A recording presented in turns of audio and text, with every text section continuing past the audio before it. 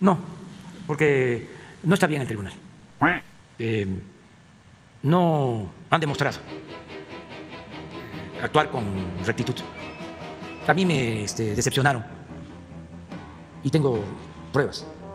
Cuando eh, resolvieron cancelar las candidaturas en Michoacán y en Guerrero, no actuaron como jueces. Llevo yo muchos años en esto, no me estoy chupando el dedo. Entonces ya no les tengo confianza. Con todo respeto. Lo mejor es una renovación. Entonces poner a un interino durante un mes no va a servir de nada.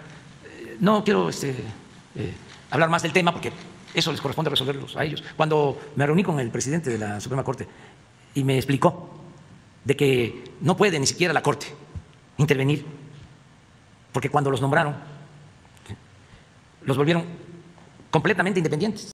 Se supone que dependen del Poder Judicial, pero ellos son completamente autónomos. Los mismos ministros que votaron por ampliarle el plazo a los magistrados electorales son los que estaban en contra de que se ampliara el plazo para el presidente de la Corte y que quería llevar a cabo la renovación del Poder Judicial y combatir la corrupción. Aquí cuánto nos ha costado y todavía no terminamos de limpiar. Me canso ganso. Decía el ministro Saldívar hace un rato a través de su Twitter que con esta vía que plantea el tribunal la crisis en esta institución ha sido superada. ¿No coincide con él? No, no coincide. No coincide, eso tiene que renovarse. No hay más que una renovación tajante, tanto en el INE como en el tribunal.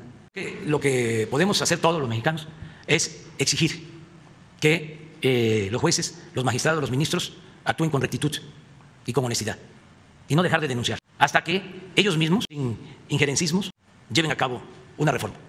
Yo no voy a proponer un cambio a la Constitución y tengo la esperanza de que despierte el Consejo de la Judicatura. Entonces ellos pueden este, avanzar eh, para moralizar el Poder Judicial, para purificar el Poder Judicial. En el caso de los ministros, no veo. La mayoría no quieren el cambio. ¿Usted ya no intentaría una reforma No, desde no, el no, no, Ejecutivo? porque yo tengo este, que optar entre inconvenientes. Dicen que el que mucho abarca, poco aprieta.